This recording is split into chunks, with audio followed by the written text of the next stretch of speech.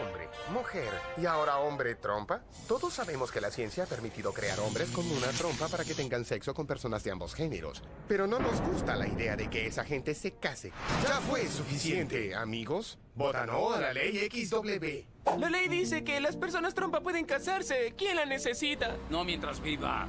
Pagado por Michael Dennis y los Dennis. Hola, soy una persona trompa y siento, siento amor en mi corazón igual que tú. Quiero poder expresar ese amor tanto con hombres como mujeres, pero no podría hacerlo si Denny y los Dennis consiguen lo que buscan. Dejen que las personas trompa tengan sexo y se casen. Pagado por eh, personas trompa.